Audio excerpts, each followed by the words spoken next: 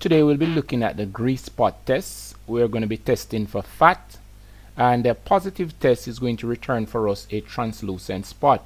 We're going to try to identify or to see the tripod stand below the paper.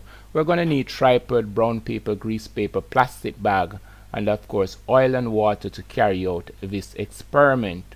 So there we have a brown paper that is dry and it is placed on top of a tripod stand and if you observe we're unable to see the tripod or uh, that which is below the tripod. Let's observe. You need to document this in your notebook. So this is a dry brown paper and we have placed it on the tripod. Now we have a plastic bag that is covering the tripod and you would observe there that we are able to see the tripod clearly and to see what is below the tripod stand. Now this is the tripod just a reminder and now we're placing a brown paper with oil and now you need to record your observation there. So it's a oiled brown paper and the oiled brown paper is placed on the tripod stand where we're moving the paper just to show the difference between the oiled area versus the dry area. And that shows you exactly what happens when we are testing for fat. And we're doing the grease spot test and a positive test would return a translucent mark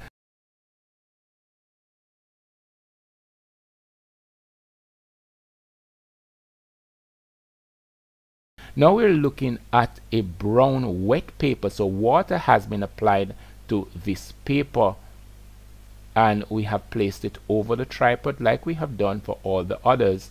And there you have your observation. Are you able to see the tripod? Are you able to see below the tripod?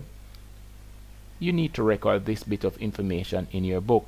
Now we're using a grease paper and it's a oiled grease paper and there you have your observation. Are you able to see the tripod? Is it clear? You need to document this in your notebook. Now we're looking at a grease paper and this is a dry grease paper that has been placed on the tripod. Again, you need to record your observation. Are you able to see the tripod below the grease paper? So there are some words that we're going to be using. Uh, now we have we have a wet grease paper on the tripod stand. There are some words you want to capture in your observation and these are uh, transparent, opaque, translucent. So you might want to say which was translucent, which was opaque, and of course which was transparent. Translucent, opaque, and transparent. And a positive test, of course, will give you a translucent mark. So there we're looking at the specimen again, and we're saying in your observation you should capture transparent, translucent, and opaque. Thanks much for watching.